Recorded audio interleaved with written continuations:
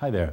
My name is Peter Follansbee, and for the past 25 years or so, my woodworking has focused on making reproductions of 17th century style New England furniture. This furniture often consists of things like this wainscot chair, these carved boxes, joined chests, that sort of stuff. It's primarily executed in oak, and as you can see, one of the hallmarks of it is its carved decoration. These carvings are usually a few basic patterns that then have countless variations in them.